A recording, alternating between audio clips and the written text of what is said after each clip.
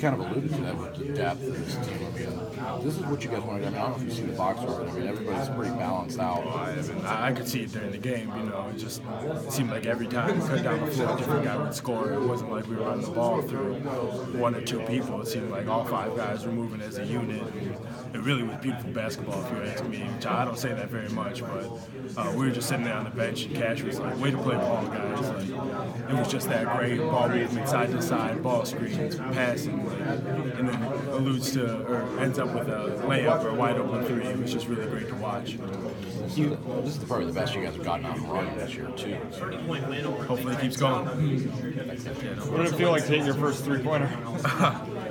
just a nice exhale, deep exhale. Um, a lot of hours, you know, kind of holding yourself back mentally once you miss a couple. But once you hit that first one, you're just like, all right, you know, you've done this a million times. Like, let it just play.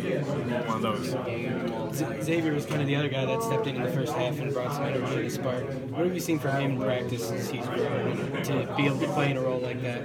Um, I mean, he gives us hell every single day in practice. Uh, uh, I was a scout team player my first two years. He's, he's working on the scout team now, but I think it's probably the best thing for him, just because he gets to work on what the other team's doing, learn what they're doing, but also work on his game. I mean, he's going to bring the rebound and the defense, but uh, obviously he gets to work on his finishes and everything, playing offense against us. And he just, him and Nick will have battle. Him, Nick, and Gab will just go at it all practice, hours on end. So.